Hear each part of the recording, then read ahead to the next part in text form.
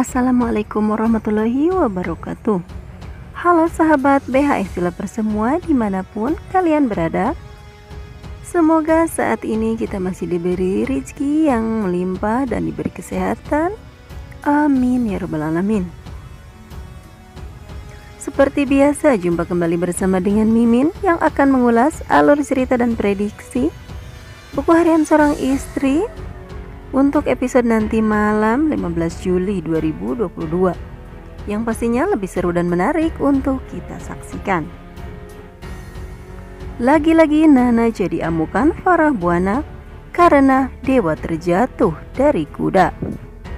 Dewa pun alami hal ini.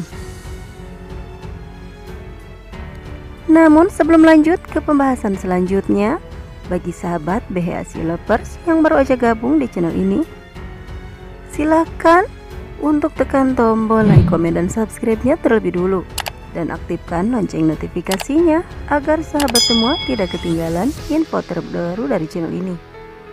Jangan lupa juga tonton videonya sampai selesai agar tidak terjadi kesalahpahaman di antara kita.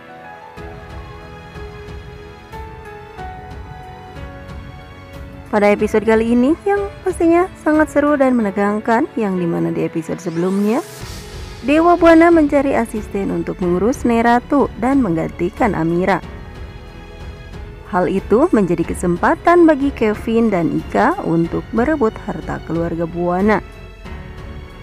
Karena bagi Kevin Arganta ada hak dirinya atas harta keluarga Buana sehingga Ika daftar untuk menjadi asistennya Neratu.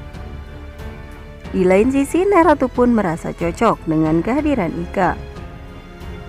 Namun saat ini Dewa Buana dan Nana pun belum mengetahui jika pengasuh Neratu sekarang adalah Ika, adiknya Kevin Arganta. Sehingga dalam hal tersebut Dewa tidak akan biarkan Ika berbuat licik kepada keluarga Buana. Sementara di tempat lain, Nana mengajak Mas Dewa untuk bermain kuda bersama Junior. Namun di situ ada orang yang sengaja mengetapel kuda yang dinaiki Dewa Buana.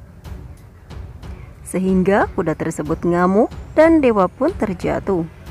Hingga pingsan. Nana pun shock melihat kondisi Dewa saat ini yang tergeletak tak berdaya. Nana pun merasa bersalah terhadap dirinya karena Nana yang memaksa Mas Dewa untuk bermain kuda. Sehingga dengan kejadian ini Farah Buana meras besar kepada Nana. Karena Nana sumber masalah di keluarga Buana. Farah Buana pun tidak akan memaafkan Nana. Nah sahabat mungkin hanya itu saja sinopsis dan alur cerita buku harian seorang istri untuk episode malam ini dan prediksi selanjutnya. Untuk mengetahui lebih jelasnya, saksikan terus buku harian seorang istri yang tayang setiap hari hanya di SCTP. Kritik dan saran tulis di kolom komentar ya sahabat. Terima kasih kepada sahabat Bahesi Lovers yang selalu dukung channel ini.